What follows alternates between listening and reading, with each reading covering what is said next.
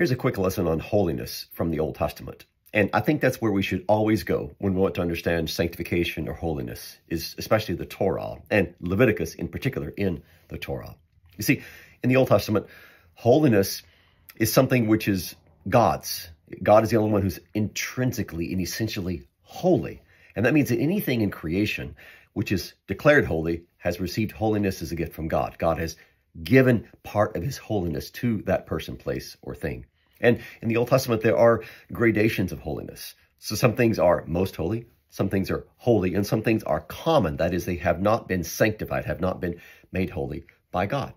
And if you're reading through the Bible with me, we have a great example of that in Second Chronicles 23, where you have the people who are in the forecourt of the temple, but the priests and the Levites, because they're holy, are declared worthy or declared able to enter into the house of the Lord.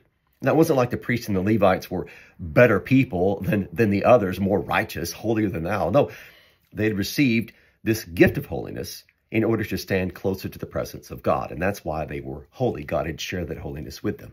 Now, the beauty of this for the Christian is that through the offering of Jesus Christ, we have been sanctified. We have been made holy by that offering. And so we unlike the, the people of Israel who had to stand in the forecourt, we can enter right into the presence of our Heavenly Father because we've been sanctified by the body of Jesus Christ.